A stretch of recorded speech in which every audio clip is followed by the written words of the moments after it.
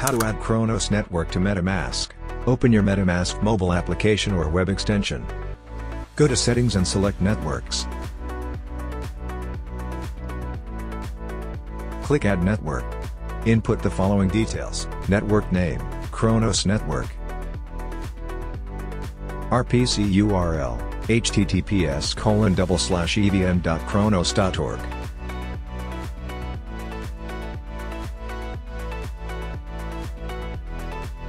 Chain ID, 25, symbol, CRO.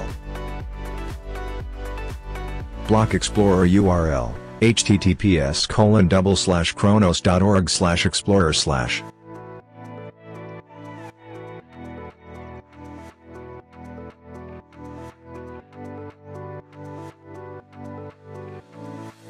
Click the Add button and you're done. Congratulations! Cronos Network has been successfully added to your MetaMask. Thanks for watching. And don't forget to subscribe to my YouTube channel.